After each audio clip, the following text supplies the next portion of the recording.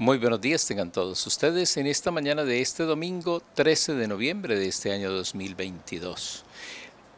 Estamos eh, compartiendo con todos ustedes esta palabra de vida desde la parroquia de Nuestra Señora de Aranzas en la ciudad de Neiva.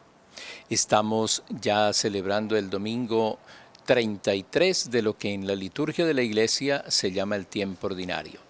Y como estamos concluyendo el año litúrgico, entonces la palabra de Dios nos coloca a nosotros en eh, la perspectiva del final de los tiempos. Eh, hace ocho días reflexionábamos sobre la resurrección. Hoy mm, el Señor frente a Jerusalén eh, y viendo que la gente hace alabanzas de, los, de las piedras que forman el templo de Jerusalén, les dice, llegará un día en que no quedará piedra sobre piedra. Y entonces ellos le preguntan, ¿y cuál es la señal de que eso está para suceder? Y Jesús entonces les dice que eh, no habrá eh, signos espectaculares ni señales.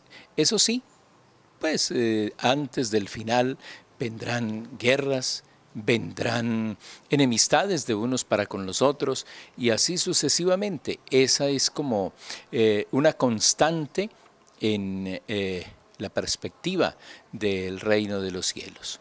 Por eso nosotros en definitiva hemos de estar preparados. ¿Y qué significa estar preparados?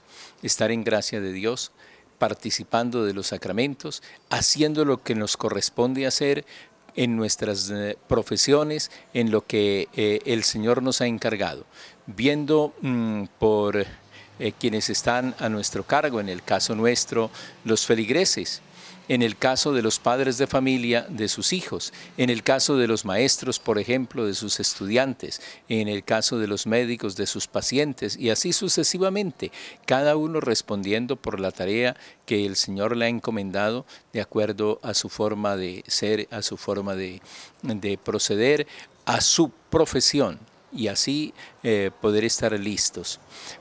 Eso sí, advierte el Señor, no se dejen eh, eh, pues, deslumbrar por este tipo de cosas. Y efectivamente nosotros escuchamos que ya va a haber el fin del mundo, porque mire, lo que está escrito en la Biblia, allí lo dicen y eso es así. Y no, nadie sabe el día ni la hora.